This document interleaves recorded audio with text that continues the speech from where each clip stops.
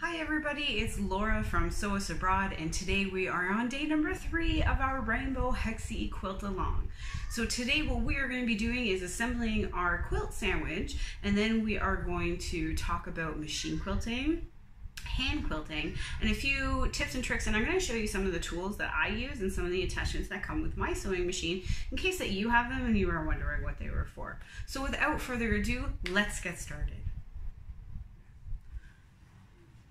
Okay guys, so uh, today uh, we are going to be creating our quilt sandwich and um, basically what that is is your topper. So I'm going to show you this quilt. Um, I, I already have it all put together but I'll explain the layers to you. So you have your topper which is your background fabric with all of your hexies attached to it and that is going to be 20 by 20. Remember we cut that out to be 20 by 20 inches. And then to that, you're gonna attach your uh, batting. So for this one, uh, this is Hobbs 80-20. So it's 80% cotton and 20% polyester. Um, there's a few different ways to attach your sandwich all together. And I'm gonna go through those with you. So your quilt sandwich, I should say, consists of your topper, your batting, and your backing fabric. The batting and your backing fabric need to be a little bit larger than your quilt topper. Uh, so I like to have, when I'm doing it by machine or by hand, I like to have a good two inch um, border all the way around. So I cut the back, my back fabric right? And my batting at 24 inches square and my topper is 20 inches square. And that will give me two inches all the way around. And that allows for some shrinkage because as you quilt, you're going to, it's going to shrink just a little bit. Right? And it also gives you something else to hold on to when you're feeding it all throughout the machine. So yeah, that's why you do that. If you eventually get to the point where you're going to be making quilts and you're going to send them out to a long armor, a long arm actually requires an 8 inch um, border all the way around. So there's a little tidbit of information for you. Now, there's a few ways to attach your quilt sandwich all together. This is kind of weird. All I can see are my hands and it's a little bit weird. I hope it's not weird for you guys. My favorite way is to use glue uh, to baste it. When I'm using a smaller quilt like this one, a wall quilt, I'll actually just bust out my good old glue stick. I swear. When, you know, when I started sewing, I never thought I would use glue as much as I do. I always use it, always. So, because this is small, um, what I do is I just get my topper and I run my glue stick all the way around it. And then I put it on top of my batting and I'll use my iron on a low heat to set it and then I will flip it over and I'll do the same thing for my background fabric. So I'll run glue all around it, flip it onto the batting, use an iron to, um, to set it. And we can call that one a day. When I'm working with larger quilts, so basically anything that is this bigger than this, so crib quilt all the way up to full size, doesn't matter, this is my best friend.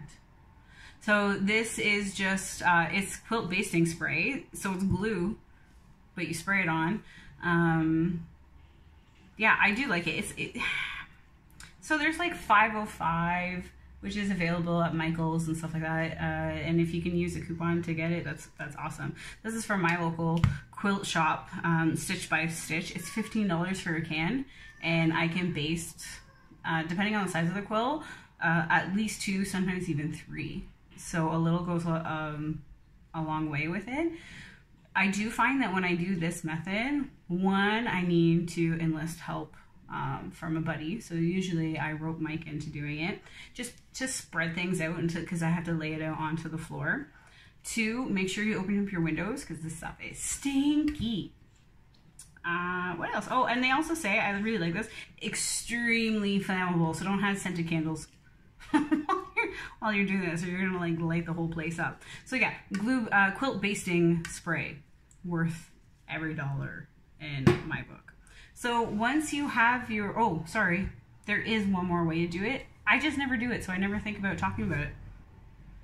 The other way to do it is to lay down your background fabric, so this one, put your batting on top, So there's my batting. Put your quilt top on top of that.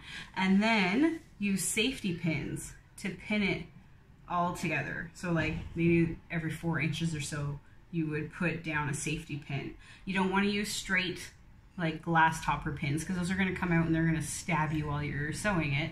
But safety pins, then you can remove them um, as they come up to the machine. Honestly, I have never done it that way. Um, but I do know a few people who do, and some people prefer it because it can hold things a little bit tighter, like it's not going to shift on you.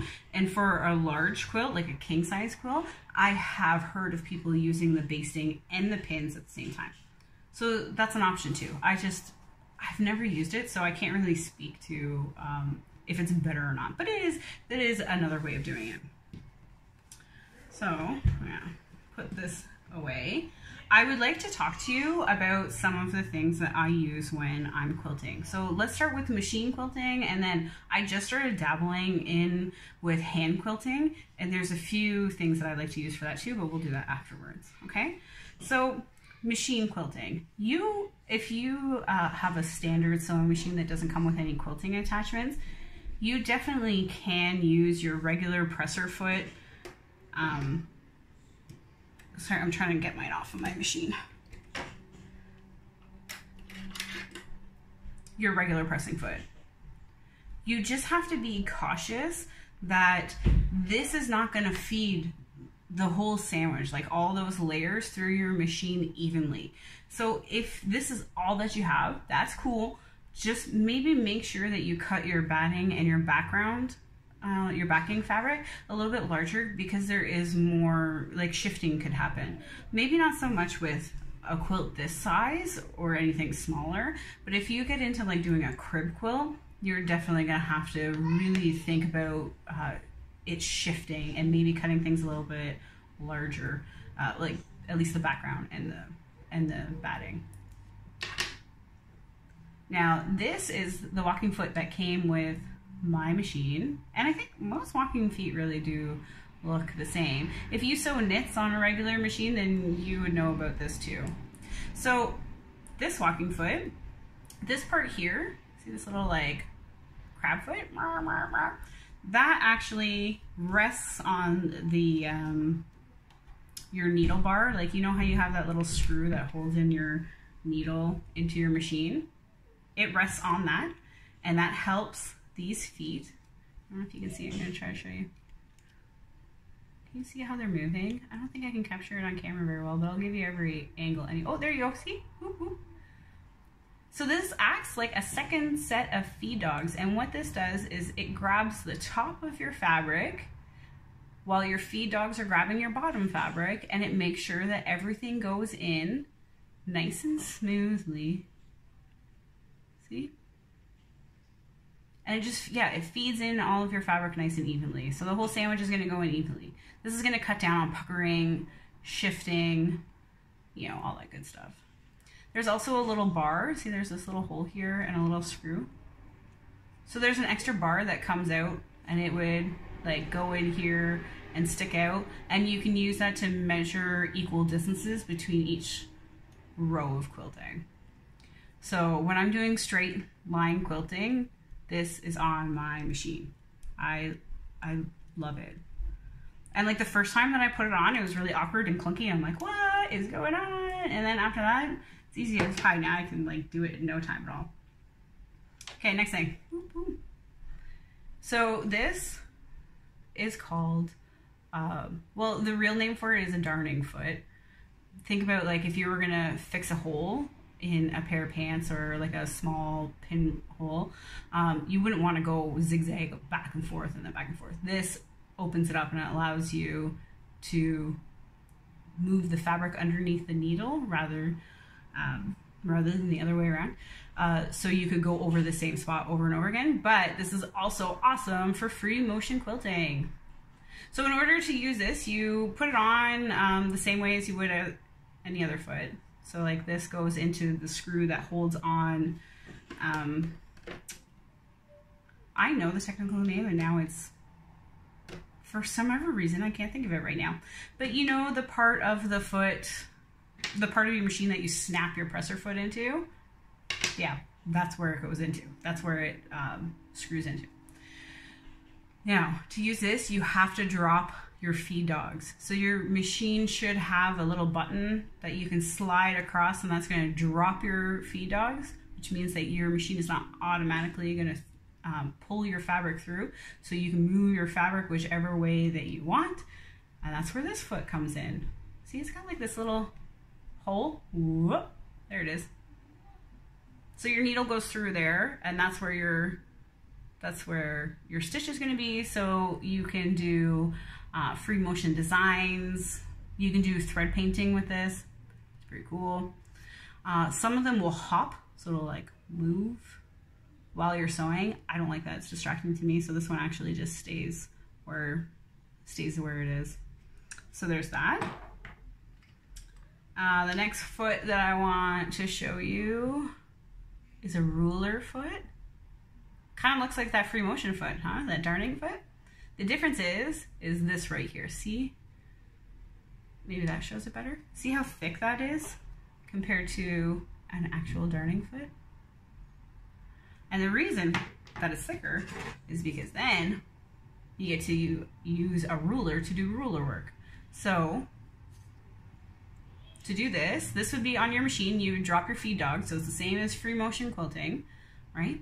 But you slide your ruler along with the quilt. There's little grippies on this along the foot and you can get perfectly straight lines or you could get um, like stencils so that way you can make clamshells or wavy lines. Like if you see on my Facebook all the time, there's these ads that pop up for those cool quilting templates, those big thick acrylic templates. This is the type of foot that you would want on it. So it's called a ruler foot this is thick enough. Some of them are metal. I just got a plastic one. It's thick enough so that way the ruler doesn't get underneath it and then you break your needle, you go through this and it's crazy.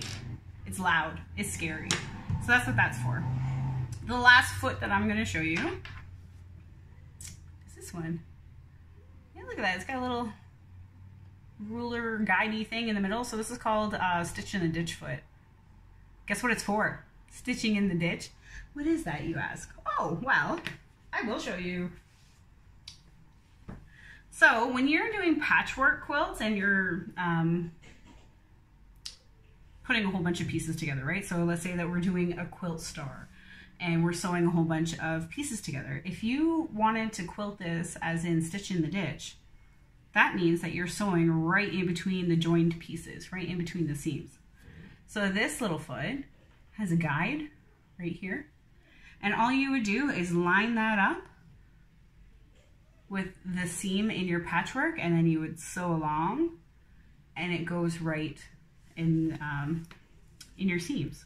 So it creates like a, you, you won't be able to see your stitches. So it creates like a poofy effect, at least I think so. It's really like a traditional way of quilting. So yeah, that's my stitch in the ditch foot. Okay. So with this, with my quilt, let me see if I can show it to you. See all those straight lines? What I did with this is I did some straight line quilting over my hexies. This is called matchstick quilting because the lines are so nice and close together. Some people really like to make sure that all their lines are straight and equally apart. I just kind of went for it. I'm calling these organic lines because they're so organic in the way that they flow across the hexies. That's my way of saying I don't care if they're straight. and I actually used um, variegated thread on this one. So I don't know if you can see it. There we go. Uh, so with that one, I used my walking foot and I just went back and forth over top of the hexies over and over again. Um, one thing I will point out is I wanted to make sure that I got as close to all of these corners as possible so that way they, the hexies weren't lifting up. So that's what I did for this. Matchstick quilting, straight lines. It's really modern and really in right now and super easy to do. The closer that you stitch together, so the more lines that you put, the denser that this part of the quilt will be. So see how it's not as like bendy? It's got a lot more body to it. That's because all these stitches, it looks really good on the back side too. So all of these stitches here, it's just, it's the closer they are, the more dense it's gonna be. That's the best way I can put it. Then what I did, sorry, I'll show this side of it, is I did some hand quilting on the negative space. I love negative space quilts because it just, it's a blank canvas. You really can do whatever you want on it. And I thought, you know, I'm gonna try hand stitching. As you can see, I didn't aim for perfection. They're not straight. I'm more of like a free-flowing, organic quilting kind of person. So this is my first time hand stitching. I didn't think I was gonna like it. I actually like it. It's soothing. I, uh, it's just, it's kind of meditative. You're just sitting there and sewing along and it's, and it's nice. And it does give a really nice texture to it. I haven't washed this quilt, so that like crinkly texture, that's all just from hand sewing it. And I did that on this side too. See if I can show it a little better, but I did a little, I did some X's. So I'm really pleased with how that turned out. And I will uh, talk about my limited knowledge on hand quilting because like I said, this is the first time that I did it. Um, I love trying new things on smaller quilts. They seem to be like the perfect uh, size project to, to try something else out on. So for this one, now this is probably the thickest thread that I would use ever. Uh, this is called big stitching. Um, so it's not like traditional hand stitching where you're using a really fine thread and you're trying to get really small stitches on a needle. This is just like, go for it. Just do it. the bigger the stitch, the better.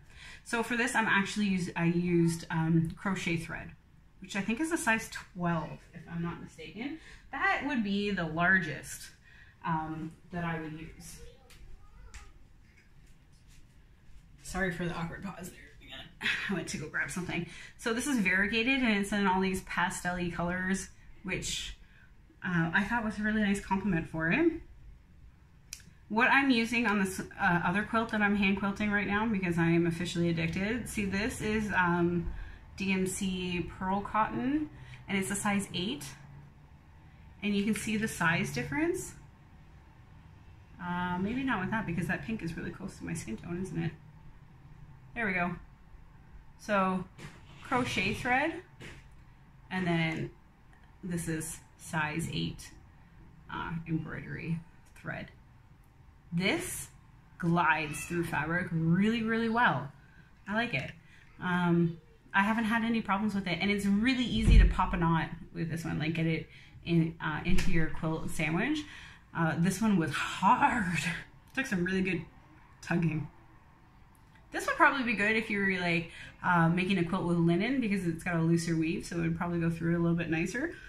But so far this one is winning with me. I really do like it. And I got this thread um, actually from Mad About Patchwork too. They have a good selection online for this, so if you want to try it. Um, thimble, Yes, you need it. I like it on my middle finger because I use that to do the rocking motion and push it through all the layers. If you don't, you will poke a, a hole through your finger. Ask me how I know. so when I am doing my hand quilting with this thicker uh, thread, I can't use a regular needle. You need something with a little bit more, it's a little beefy. So see if you can see these. I don't know if my autofocus is gonna work. See? Ooh, nope, it's not. Either way, these are uh, Tulip Chenille needles. So they're a little thicker. They're gold-eyed. Um, so the eye is nice and big. Easy to thread. I haven't found that I needed to use a needle threader. I can just do it by myself. So you can see all of them here. They do have a longer shaft. So I still find that I can get like four, maybe five stitches on a needle before I pull it through see if they show. Yeah, so these are chenille needles and I have them, uh, it comes in size 18, 20, 22, and 24. So for um, big stitch stitching, these are awesome. The other thing that I like to use, is a chalk? No, it's a white crayon. Yeah. So every time we get a new box of washable crayons for the kids, I always steal the white one because it's perfect for marking out uh, quilting designs and it washes right off. And I don't even have to put the quilt through the washing machine per se. I could um, either spot clean it or wash it by hand uh, and it comes right off. Like it's it's it's awesome. So I always steal the white one. They never use it anyways. So now it's mommy's. Haha. Yes, so that's what I like to do uh, for hand quilting. And doo -doo -doo. also going back to machine quilting, I'm kind of zigzagging all over the place, aren't I? But I think of things as I talk. I'm a little bit of a I do that. so when you're machine quilting, this is the perfect time to start using all those fancy stitches that you never thought they would use, if you do use them. On this one, I don't know if you can see, oh, you can't see it. So I have like a nice wavy stitch. I did this entire quilt in the wavy stitch. And it looks so awesome. Like it's just another layer. See that? It's another layer of texture. It's really cool. Uh, other ones, um, some machines come up with like these scatterbrained free motion. Uh, it's called stippling. Your, your machine might have that. And then at that point, all you're doing is feeding it through. So it gives you the look of free motion quilting without free motion quilting. So I think I've covered most, if not all, that I was thinking about uh, getting your quilt quilted. So if you have any questions, please let me know, or if something wasn't explained uh, thoroughly, let me know. Uh, also, what would be great is if you are thinking about this, you know, decorative stitches on your machine and you don't know if they're going to work or not, why don't you take a picture of the stitches that your machine comes with and post them up after this video and we can go through and we can see which stitches would work for you and not. Because I bet you that you at least have one or two decorative stitches that could be used for an all over uh, quilting pattern or even if it was just on the borders. So again, if you have any questions or if you get stuck on a step, let me know. Uh, if not, we will be back tomorrow and tomorrow we are gonna start um, squaring this off and getting the binding ready. All right, thank you very much for joining me.